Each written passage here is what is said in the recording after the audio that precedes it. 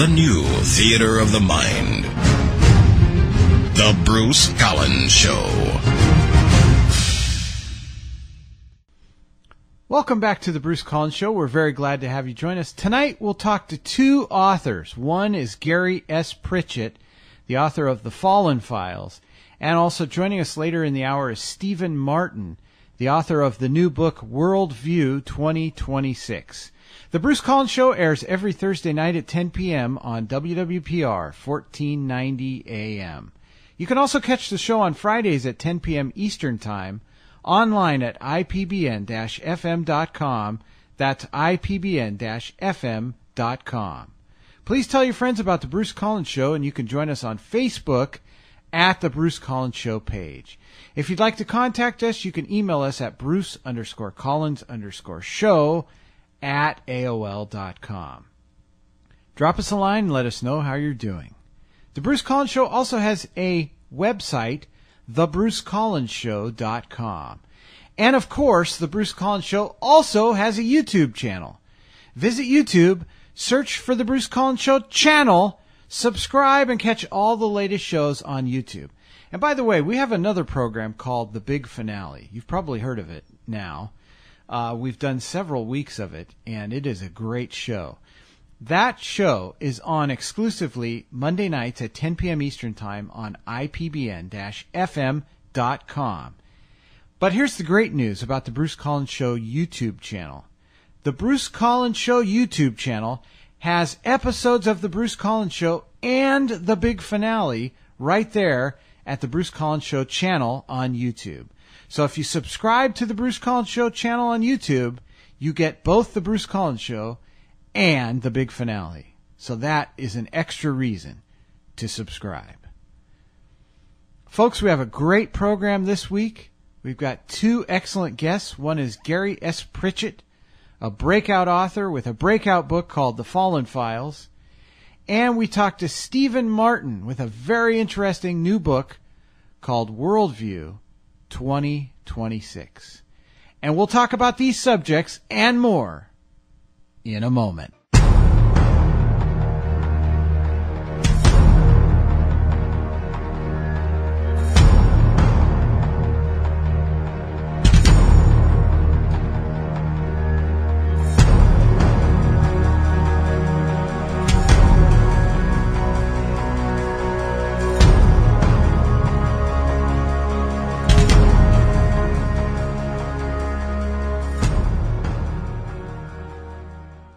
And I have a great book to recommend to you this week.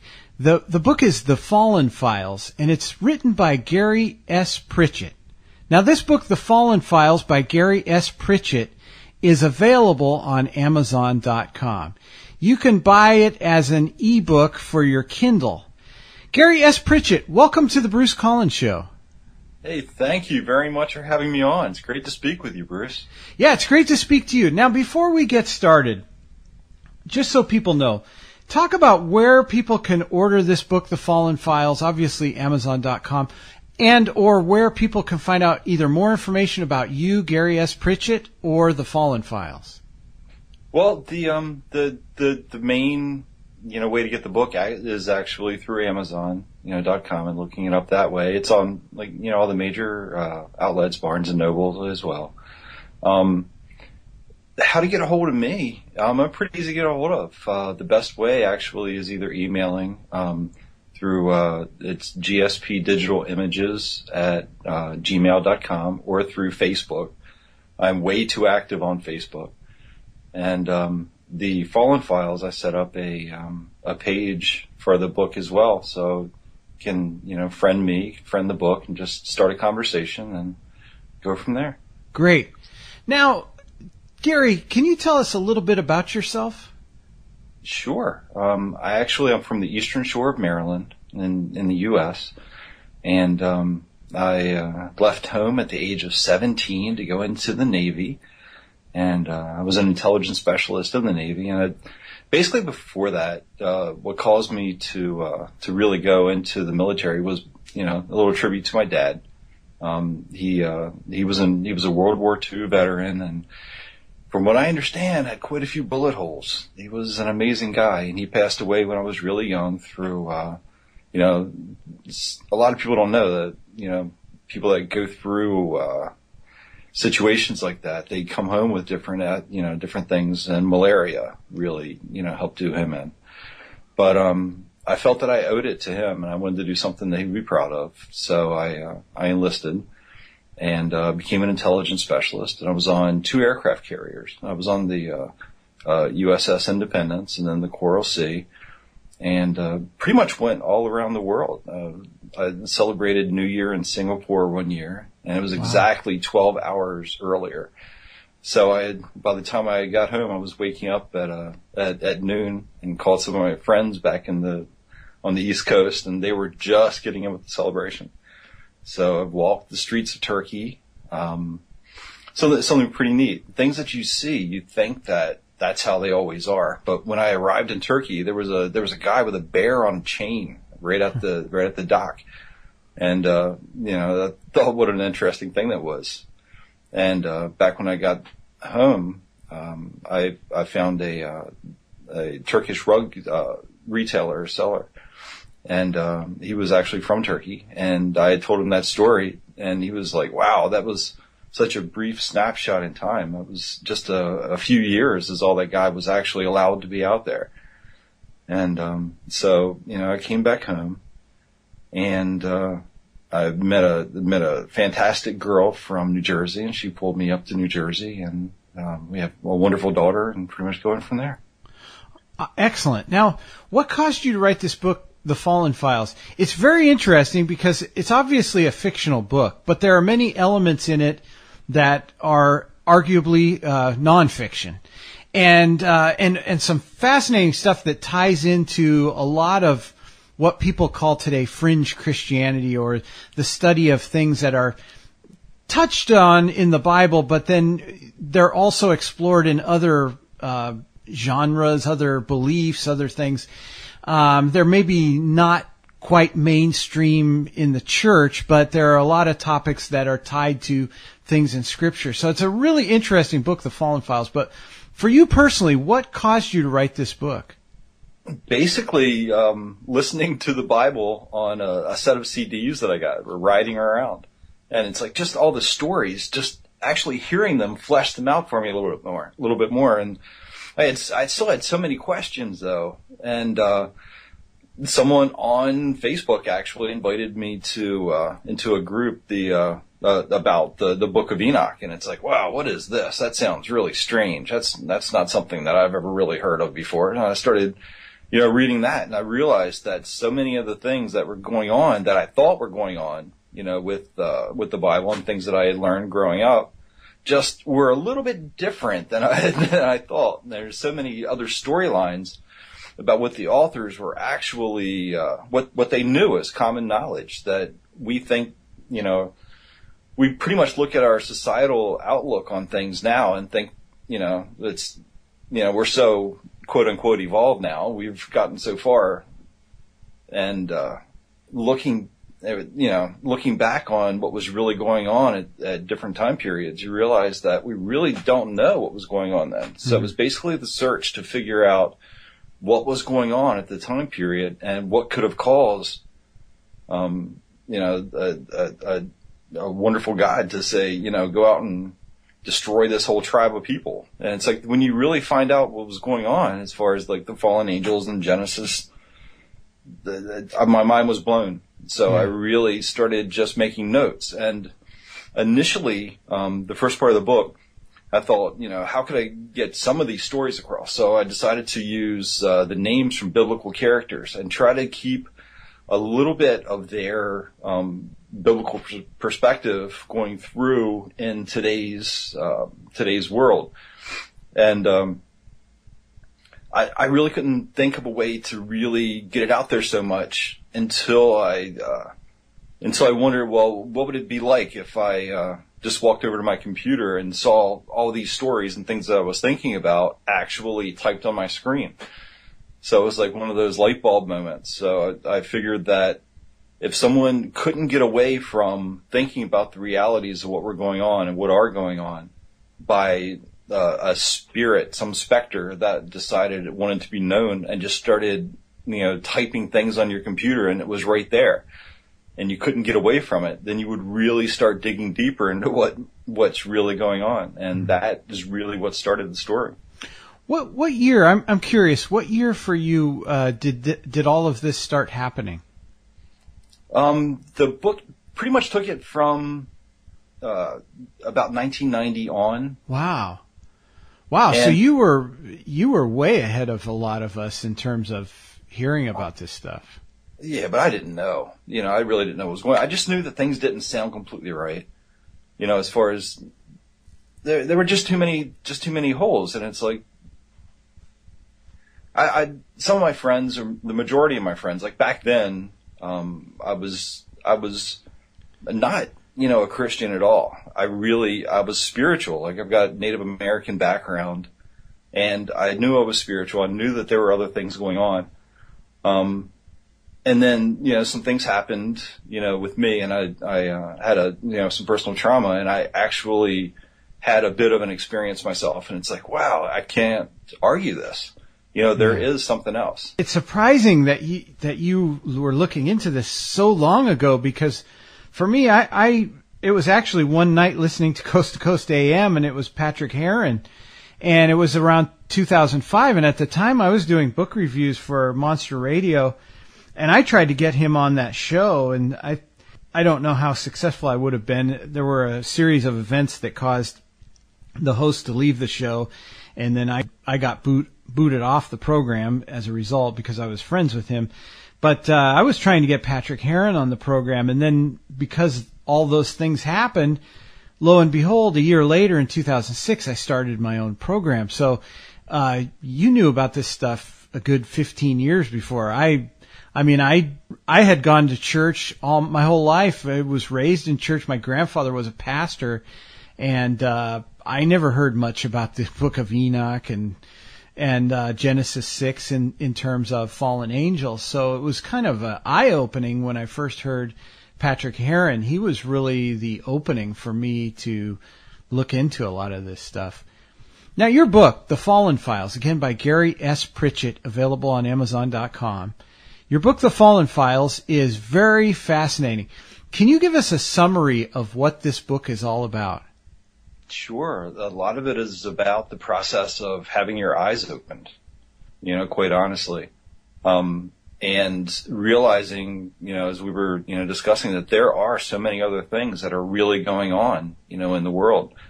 And, uh, through the, through the main character, he was a lonely guy, lost everything. And then all of a sudden he, uh, through his job as a firefighter, you know, in the book, and he started seeing things. And uh, there was no denying that there was something else you know going on for him. And then as the uh, as his daily life progresses he starts talk about or think about it seems anyway. And as he becomes more comfortable with himself in, in the in the book his character gains uh, different abilities as far as like strength or insight.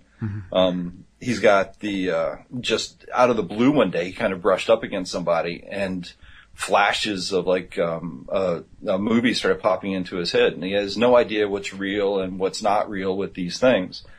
Um, and then he starts hearing voices as well so the thing is it sounds kind of crazy but the thing is um, a lot of things go on in a person's life that they don't really understand at the time. And then they just you know as long as you become you know confident with yourself and you know you're a nice person things usually work out okay. And that's pretty much what happens through the book. Now, your central character, I, think, is Joshua Edward Waters. In your book, The Fallen Files, uh, maybe uh, can you expand on that? Uh, who he is, Joshua Edward Waters, and also is is any part of him you? Um, yes. yeah, well, uh, you know, you write about what you know and then Yeah. you read about what you don't know, and this is a combination of the two. Um, he, he's far, far more troubled than, you know, hopefully more troubled than I ever was. but, um, the, uh, a lot of things that he actually went through and like the whole, you know, some of the experiences growing up, like questioning, like at an early age, he, he saw, you know, a family, you know, in a car. And it's like realizing that they had a life completely of their own, and nothing that they did affected him. Nothing that he did, nothing that he did affected them. They were completely, you know, separate uh, storylines kind of going on, and uh, this character, um, I didn't really think as much about it, you know, consciously as I was subconsciously. I think I, I know I wanted the Waters part um, to be a way for the uh, the the the the fallen character to try to um, he wants redemption basically, and the uh, the the part about you know uh, Christianity as far as the whole baptism part and like you know so people think you know that there's so much strength in the blood and also in the water, so that the baptism thing you know is what really popped in, and uh, I already had the Joshua part and I was going along and just writing, and then um, for I, I, his middle name became Edward, and I wasn't really sure why. I really didn't. I was thinking about it much deeper than I acknowledged to myself. I think,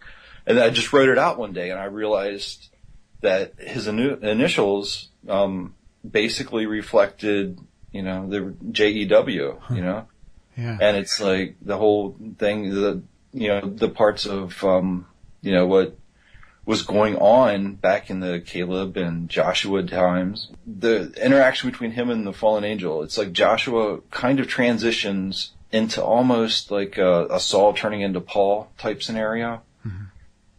And um, then he, you know, meets other people and uh, they kind of like climb on board, literally. He's driving around in a 65 El Camino. and they, everybody, you know, they kind of get on board and, uh, he starts uh, just really not caring what people think anymore, and starts really uh, embracing the whole uh, the you know Christianity part, and um, brings on some interesting scenarios. Yeah. Now, we're speaking this week with Gary S. Pritchett, the author of The Fallen Files, and The Fallen Files by Gary S. Pritchett is available on Amazon.com. Now, uh, Talk about some of the topics that are discussed in the Fallen Files that are that you weave into the story.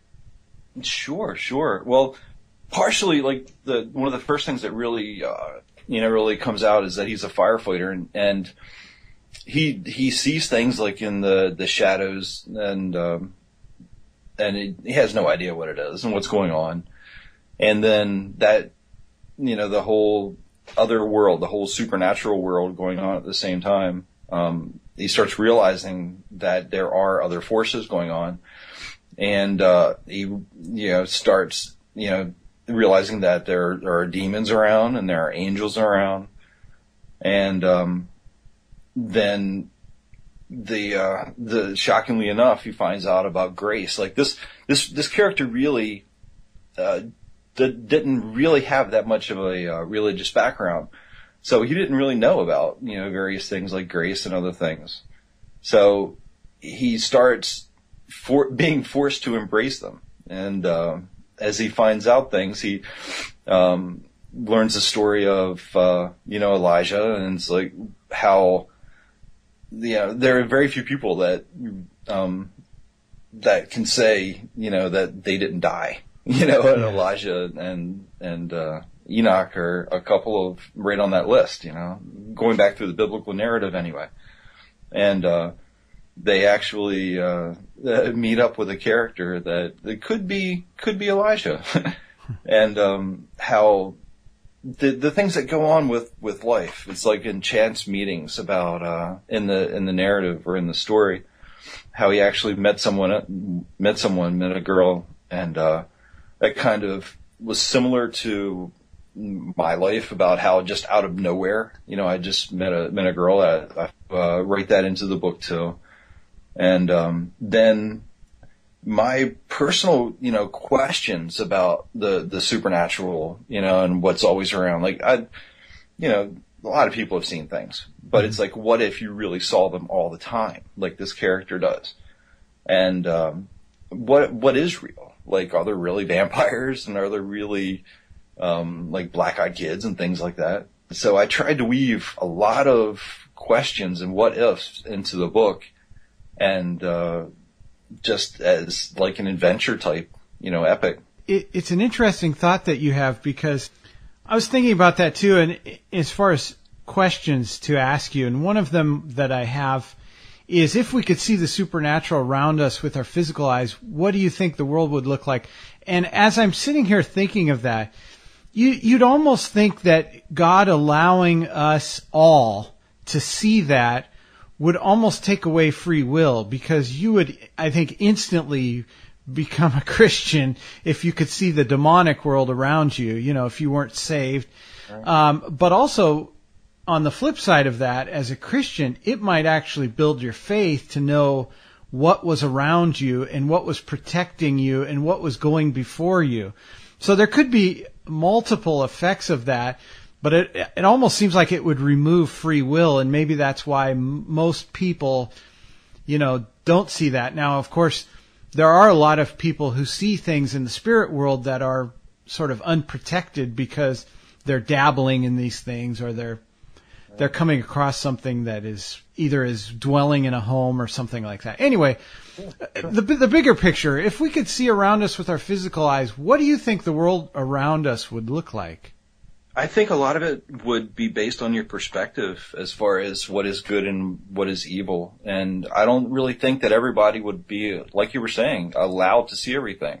Because it, I can't imagine just how distracting that would be on a daily basis to see, um, you know, see things that are possibly, you know, through other dimensions that are like popping in and out. You know, the, the last I, the last I heard, um, physicists now think that there are possibly like 11 different dimensions going on at the same time. I think some of these things actually pop in and out, you know, between the two and, um, they intention, I, I think God intentionally doesn't allow you to see everything. Some, some people, I think that the veil of, that veil of protection or that veil, um, is thinner and they actually see things like, you know, you, you hear stories of, of kids actually um, beings talking to them, and it's really scary that that would that would happen, you know, with children. But I think that uh, if we could see things that that were going on, you know, supernaturally all the time, like like you were saying, I think it would be really hard to um, to keep it together for most people, and I think that actually that's part of um, the scary part about the the New Age movement. So even though this is a fictional book, quote unquote fictional, because there are a lot of themes in here that are that are nonfiction, it, it has a lot of Christian themes, obviously. So what would you say is the general idea or, or the general theme? You know, I've asked authors before if somebody could get one big idea from your book, what would it be? So what would be like the big general theme of this book? That there's so much more going on than you really know. Mm-hmm. And you're going to go through life, you're going to, you know, most, most people, they, they start out of, you know, as children and knowing one thing. And then, um, I, I'm not sure what happens with a lot of people. They kind of like give up on, uh, the mystery of life and the, seeing the details and things. I think people kind of give up on the, the, the magic of what's really going on. And that would be like the main thing that I would say. It's like just, just relax a little bit. Things are going to happen from time to time. Just, uh, you know, if you, if you're lucky enough to find people that, uh, see things through the same lens as you, great. You know, if not, then, don't let things get to you and just be, you know, positive and just, uh, realize that there is more going on than, than you know and it, it all ends okay. Yeah. So there are going to be a lot of missteps along the way, but just don't dwell on them. Just look at the positive aspects and just kind of keep chipping away. Now, this has been fa- a fascinating interview again with Gary S. Pritchett, the author of The Fallen Files. Gary, thank you so much. This has been awesome. Oh, thank you very much, Bruce. This has been wonderful for me as well. You go a little deeper than I than I than I thought it would go. It's awesome.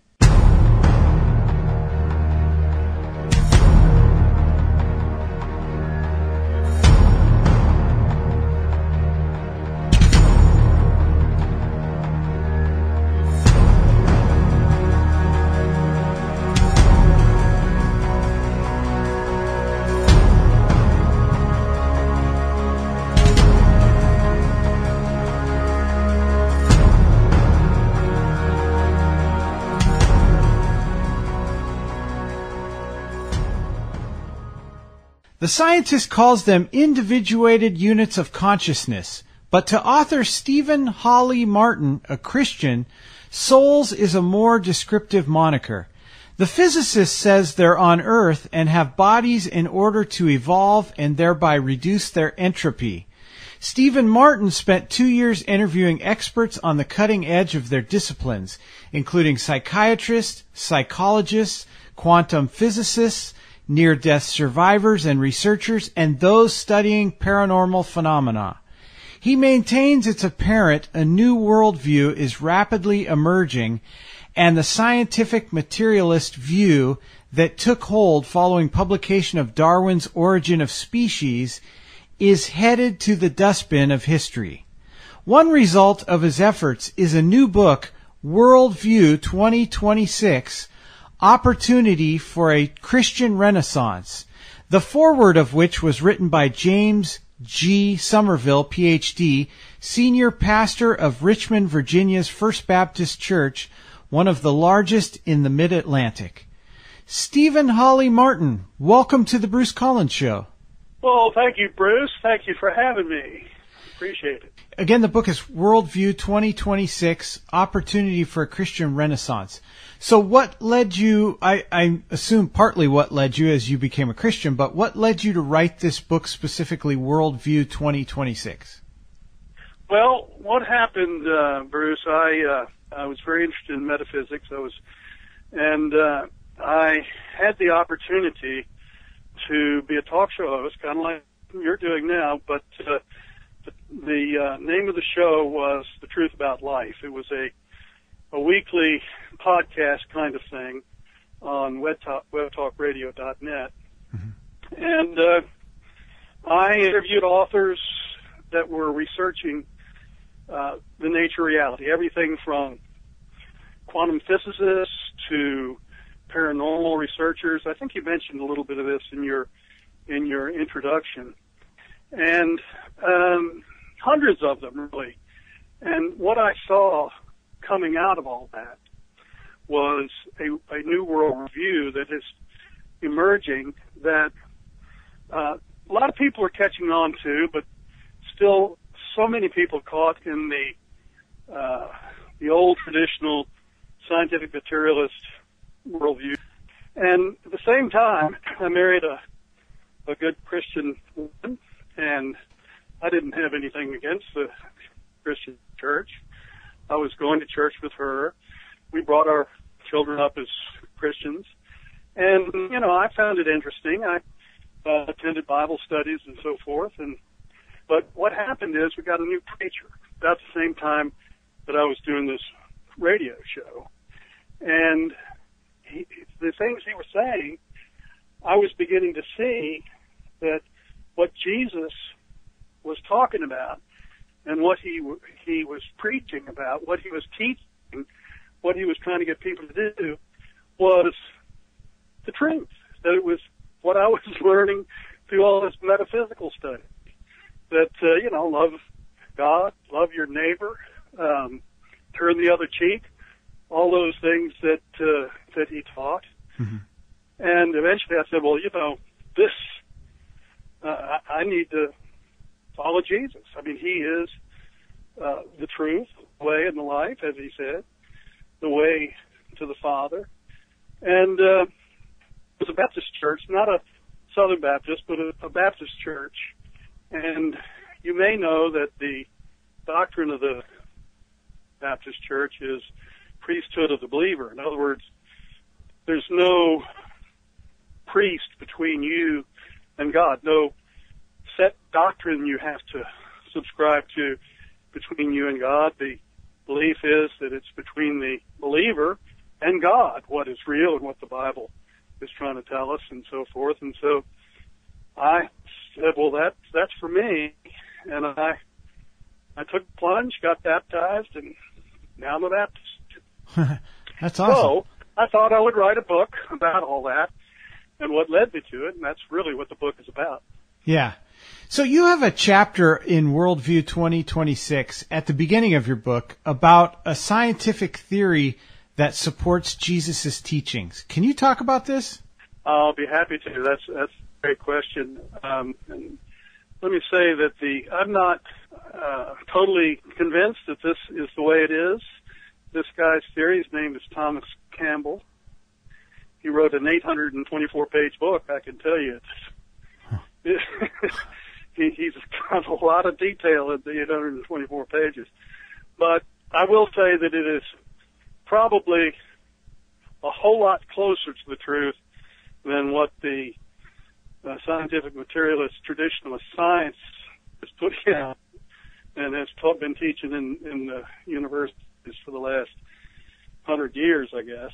Well, there's a quote that I like to start out with, and I think I put it in the book uh, that says to the effect, a guy named Rupert Sheldrake, who has a theory that I also talk about in, in the book, uh, says that modern science is based on the principle give us one free miracle and we'll explain the rest. And the one free miracle is the appearance of all the matter and the energy of the universe and all the laws that govern it from nothing in a single instant. And of course, he's talking about the Big Bang. Mm-hmm. Well, stands to reason that that's impossible. There had to be something before the Big Bang, and uh, scientists don't even have a theory about that because for them, nothing can exist besides matter. That's what scientific materialism is. But Thomas uh, Campbell uh, is also a physicist, and he believes, and his theory states, that everything came from what he calls primordial consciousness. He bases his theory really on on two uh, on two uh, gotten the word, but one is that uh, what he calls fundamental process, which mm-hmm. is the process of evolution of, of uh, everything is is in a state of change. Inanimate objects uh, find the lowest state of energy. It's called entropy. You know, if you wind up a toy that's got a spring in it, it's going to unwind. That's what happens with uh, physical objects. Life, uh, animate objects, uh, organisms want to reproduce and they want to uh, find what he calls lower states of entropy, which is to evolve, to, to become more uh, he says eventually to seek the state of love, which is in evolution, you know, something that's necessary. A bird or a dog or a cat animal has to love its young and care for them or they won't survive. And eventually, if we all love each other and have that uh, between us, we will um, we will create a better world. And yeah this lowers our entropy. We don't, we're not as scattered crazy, you know, beating up on each other, that kind of thing. And, uh, he says that what happened is the, uh, primordial consciousness created units of consciousness. You mentioned those in your introduction. Mm-hmm. That, uh, and he's got a YouTube video that explains this, where he uses a, a kind of a metaphor. He says, imagine that there's a sheet, a bed sheet that is like a, like our, like the consciousness, this primordial consciousness. And two children want to play and they stick their hands in the sheet, they put rubber bands around their hands and they create puppets. Well, those puppets are us. They're the uh, spiritual offspring of this sheet. And that eventually, uh, as more and more were created and they interacted, uh, they got to a point where they were no longer evolving. And so this uh, primordial consciousness, which I call God, decided to make physical reality because that would be a way create kind of a school for us to come to mm-hmm. to learn. And so uh, the Big Bang occurred, and eventually we have Earth, and we have uh, evolution that's that's gotten to where it is today, and these uh, these spiritual beings, which we are each one, come into physical reality. Talk about your findings into evidence for an afterlife. Oh gosh, well there are lots. Um, there are lots, and again, interviewing people, both uh, near-death survivors, uh, people who experienced that, but also um, the University of Virginia uh, in their medical school in the uh, department. I think they call it perceptual studies or something like that, but it's actually psychiatrists who treat children who have uh, mental issues, uh, has been studying memories of past lives with children since 1960. The guy who who started that was named Ian Stevenson. I think he died back in 2007 or something like that. But uh, and then his work has been carried on by a fellow named Jim B. Tucker. These children have memories of past lives that they have checked out. And they have a file, it's been over 50 years, of over 2,600 cases that have checked out. Now, they will be quick. I've interviewed Jim B. Tucker on my show a couple of times. Mm-hmm. Uh, he will not say that reincarnation is something that happens to everybody necessarily, but he will say it does happen to some people, at least, and particularly uh, those who had lives cut short for some reason, uh, or died uh, some sort of traumatic death. Uh, one case was a pilot who was shot down in World War II, who uh, came back uh, around year 2000. I think the boy's 16 or so now who uh, remembered all kinds of things like the name of the aircraft carrier he was flying off of, where it happened. I mean, people's names. He went to reunion of his shipmates. Uh, said, "Oh gosh, they're all so old," and things like that. So anyway, reincarnation happens at least in some cases. Mm-hmm. Then another from from a Christian, uh, per, I'm I'm curious just just about that because I I I guess I take a more traditional, you know, Christian view of that. But sure. this is this is not a debate show. But I love discussing this type of stuff because it's fascinating to me.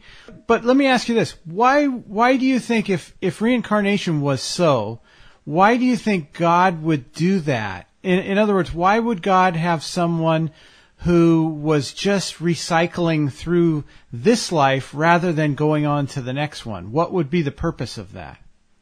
Well, I don't think that when you're reincarnated, most people don't remember the previous life. Mm-hmm.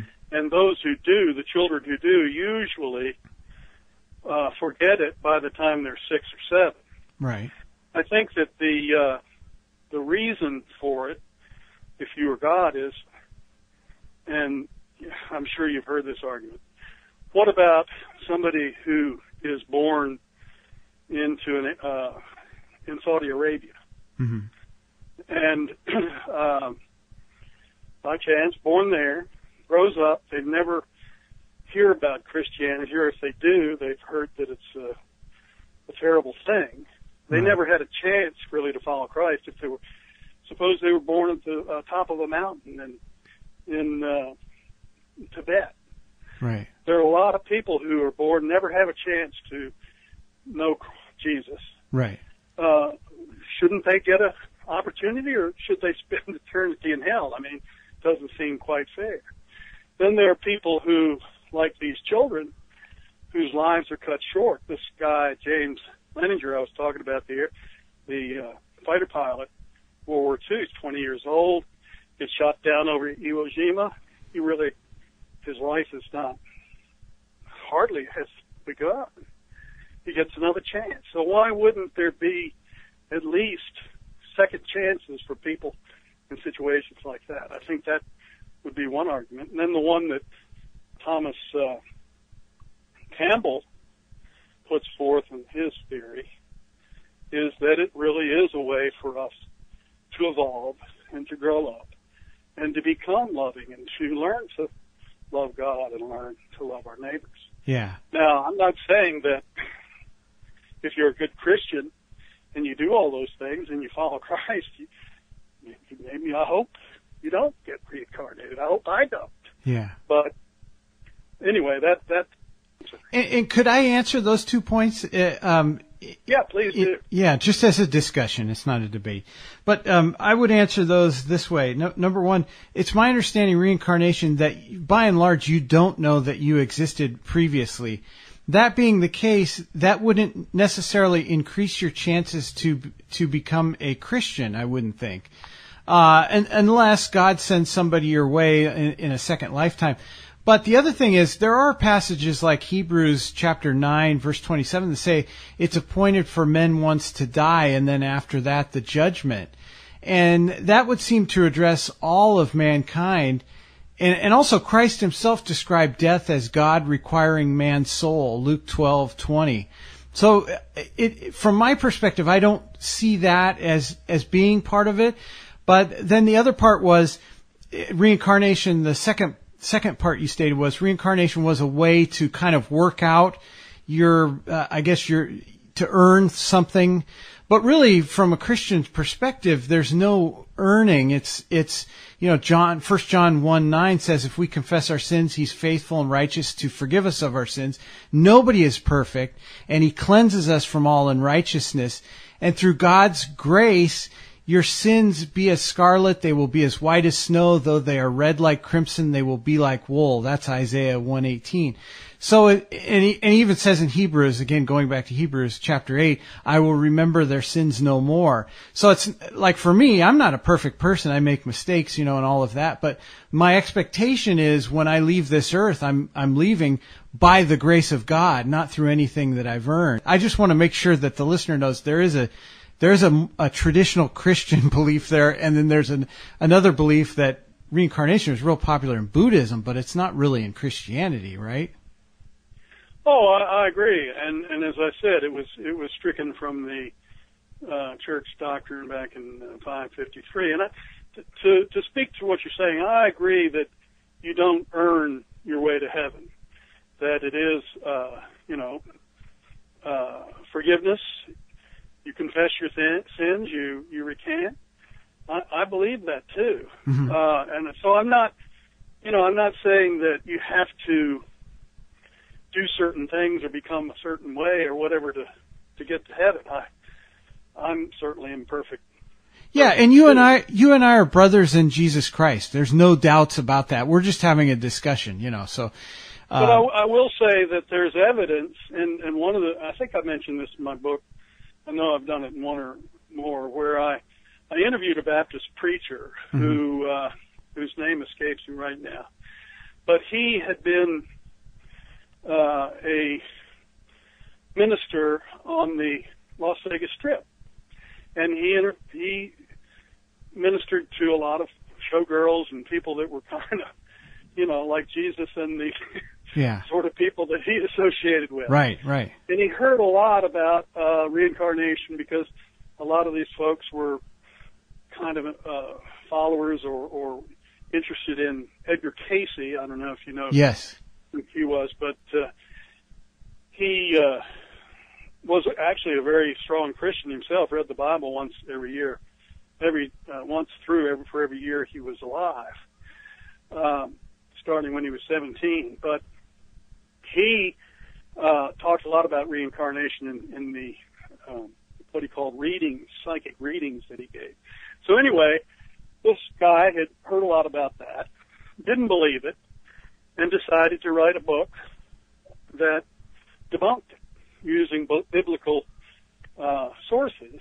And when he got into it and started reading, particularly the New Testament with uh, the idea of reincarnation in mind, he saw a lot of things in there that uh, that indicated to him that well maybe maybe it is true. I mean, for example, people uh, his, disciples, Jesus' disciples asked, uh, Jesus asked them once uh, who people thought he was. And they said, well, some say you're one of the prophets. Some say you're John the Baptist.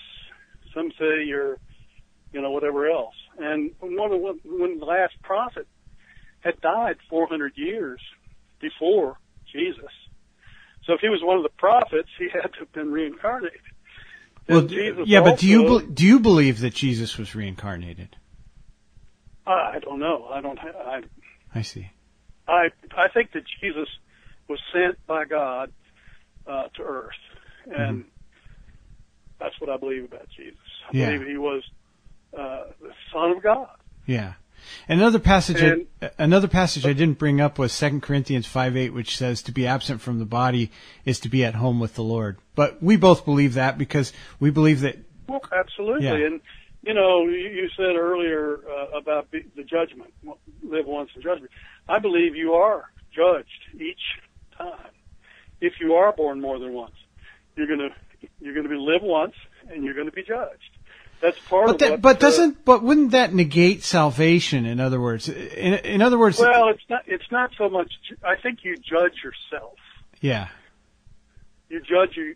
You have a life review, and you see what you did right, and you see what you did wrong, and you actually feel what you created in others. In other words, if they have, were disappointed in you, you feel that. yeah, If you hurt them, you feel that. It's not God or Jesus saying, you know, you're a bad guy. It's you realizing what you did. yeah. Let's talk about um, spirit possession. Do you think there's evidence of people being possessed by spirits? Uh, I do. Um, and the reason I do is that I've talked to at least, well, two psychiatrists, and one of them a couple of times, again on my uh, radio show, where, and one of them is, is from India. Um, and she stumbled on this, where what she had was someone who, you know, was acting schizophrenic or whatever, psychotic, Yeah, and uh, she hypnotized them, and then she started was able to converse with the entity that had obsessed or possessed this person. And I will tell you what her theory is. Her theory is, and this also substantiated, or at least similar to the other psychiatrists' Mhm. theory, that what happens when we die you know, if we're a Christian, then we know we're going to heaven, and that's what happens. Mhm. Okay. You know, we see the light. We go through the tunnel. We see the light. We arrive in this great white realm, which um, some people call the reception area, whatever. And you meet friend, you know, people who've gone before, and your maybe your mother and father, whatever, who's already passed, and maybe you actually meet Jesus, like the the boy who uh, had the near death experience. Uh, Heaven is for real. Well, if you're not a Christian and you don't think there's an afterlife, then you're kind of confused. Here you are, you're outside of your body, you don't don't really understand what's going on. You kind of wander around, and if you would look up and look for the light, you'd see it, but they don't. And so, what the psychiatrist says is people like that who have that experience will try to find some place to go. And often they find someone, and usually it's someone who has been weakened in some way, physically, if not mentally. You know, maybe they've they're sick, maybe they were injured and had a car accident or something, and they'll kind of latch on to that person. Mhm. And they both say there's different degrees of this. There's um, obsession, which is, you know, where you're just influenced by that entity, and possession, where they really take over at least part of the time. yeah, And uh, they also say that they believe that, and these people are not religious, okay? yeah, They're not Christians necessarily. And one of them might have been, but she didn't approach it from that standpoint. They does exist, that he is, uh,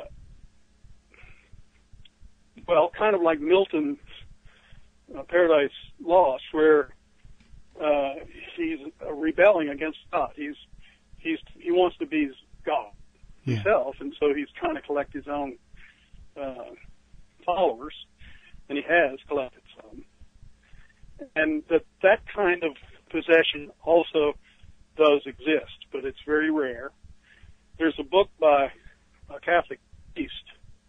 Not sure he's still alive. He wrote this book almost 40 years ago, which I read, called um, uh, gosh, the, the guy's name is Martin Malachi, and he gives five case histories of spirit possession by uh, Satan.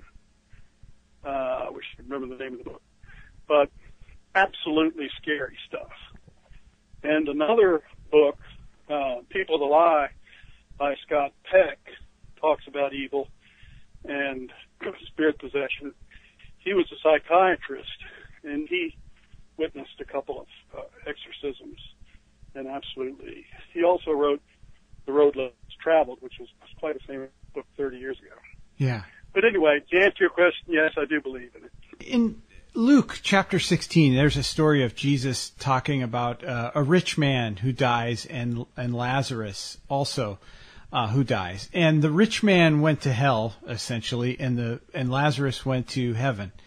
And the rich man was asking uh, if Lazarus could dip his finger in the water and, and give him water. So it showed their res- Christ was talking about their respective rewards following death. The rich man who lived a greedy life eh, went to hell. The poor man, uh, the beggar who who obviously lived some kind of a godly life went to heaven. That's that's basically what the story is. You just said that people who can't find heaven find a uh, a person to enter into. And but there's two kinds. In other words there's demonic i guess evil and also these human souls that can't. So if the human souls go into people's bodies it, do you believe there's a hell that exists? And if so who goes there? Okay, um, yeah, I don't think that everybody who is an atheist or whatever doesn't believe in heaven uh, goes around possessing people. I think poltergeists, you know, we're a haunted house, haunted castle, those things do exist. yeah But to answer your question, uh, is there hell? Yes. I've talked with one gentleman on, on my show who uh, had been a gang member and a really bad guy and had a near death experience and went to hell and uh, came came back. I mean, he he was revived. He was resuscitated, and he is now a Christian minister. Um, so, and then, then I've talked with other people who um, say they have seen hell. I mean, these are people who uh, do out of body travel kind of stuff. You know, the Yeah. Monroe Institute, if you're familiar with that. And so, uh, yeah, I think there is a hell. What I don't know is whether it's for eternity or whether it's, you know, uh, I, I think that it is as the Bible describes it. What I don't know is whether it's for eternity. I just don't know. yeah seems to me that one of the things Edgar Cayce said, of course, is that we're all going to make it eventually. Mhm. Oh, that would mean even Satan would make it eventually. You know, eventually we're going to get our act together. But who knows? I don't know. Yeah. And the book is Worldview 2026 Opportunity for a Christian Renaissance. Stephen Martin. Stephen, uh, hope you keep in touch and I would love to have you back sometime. This has been a fascinating discussion. I'd love to come back. Thank you very much, Bruce. I really appreciate it. Thank you. Thank you once again for joining us here on the Bruce Collins Show, where we broadcast every Thursday night at 10 p.m. right here at WWPR 1490 AM. Remember, God loves you. We do too. Don't give up.